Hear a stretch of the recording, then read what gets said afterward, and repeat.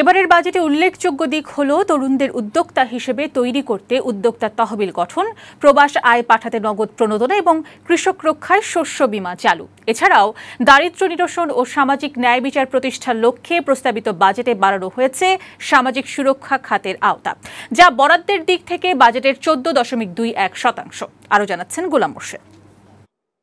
দেশের বিপুল সংখ্যক জনশক্তিকে কাজে লাগিয়ে অর্থনৈতিক অগ্রগতির ধারা অব্যাহত রাখতে নতুন চমক রয়েছে প্রস্তাবিত বাজেটে। মোট জনশক্তির এক তৃতীয়াংশ যুব সমাজকে সুসংগঠিত, সুশৃঙ্খল এবং উৎপাদনমুখী শক্তিতে রূপান্তর করতে কার্যকর পদক্ষেপ নিয়েছে সরকার। তরুণ উদ্যোক্তা সৃষ্টি করতে একশো কোটি টাকা বরাদ্দ রাখা হয়েছে প্রস্তাবিত বাজেটে। এছাড়াও দুই হাজার ত্রিশ সালের মধ্যে তিন কোটি মানুষের কর্মসংস্থান সৃষ্টির মাধ্যমে বেকারত্ব দূর করতে বিশেষ জনগোষ্ঠীর প্রশিক্ষণ ও কর্মসংস্থান সৃষ্টির জন্যও একশো কোটি টাকা প্রস্তাব করা হয়েছে।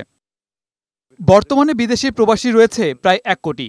আট থেকে নয় লাখ মানুষ বিদেশে পাড়ি জমাচ্ছেন প্রতি বছর। বিভিন্ন ঝুঁকির কথা চিন্তা করে এবার তাদের আনা হচ্ছে বিমার আওতায়। এটি এবারের বাজেটের নতুন উদ্যোগ। বৈধ চ্যানেলের রেমিটেন্স প্রবাহ বৃদ্ধি ও হুন্ডি ব্যবসা নিরুৎসাহিত করতে প্রবাসী বাংলাদেশিদের পাঠানো অর্থের ওপর আগামী অর্থবছর হতে দুই শতাংশ হারে প্রণোদনা দেয়া হবে।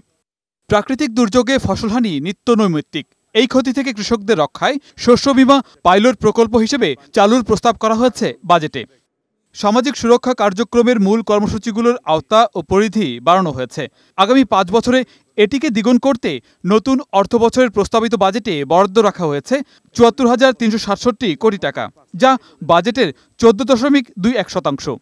মুক্তিযোদ্ধাদের সম্মানী ভাতা দুই হাজার টাকা বাড়িয়ে এবার করা হয়েছে বারো হাজার টাকা। বয়স্ক ভাতাভোগীর সংখ্যা চল্লিশ লাখ থেকে বাড়িয়ে করা হয়েছে চুয়াল্লিশ লাখ। অসচ্ছল প্রতিবন্ধী সুবিধাভোগীদের সংখ্যা প্রায় ছয় লাখ বাড়িয়ে করা হয়েছে পনেরো লাখ পঁয়তাল্লিশ হাজার। ক্যান্সার, কিডনি, লিভার সিরোসিস, স্ট্রোকে প্যারালাইজড ও জন্মগত হৃদরোগীদের আর্থিক সহায়তা কর্মসূচির উপকারভোগী সংখ্যা পনেরো হাজার থেকে বাড়িয়ে দ্বিগুণ করা হয়েছে। দরিদ্র মায়েদের জন্য মাতৃত্বকালীন ভাতাভোগী, কর্মজীবী ল্যাকটেটিং মায়েদের সহায়তার আওতা বাড়ানোরও প্রস্তাব করা হয়েছে দুই হাজার উনিশ বিশ অর্থবছরের বাজেটে। গোলাম বৈশাখী সংবাদ, ঢাকা।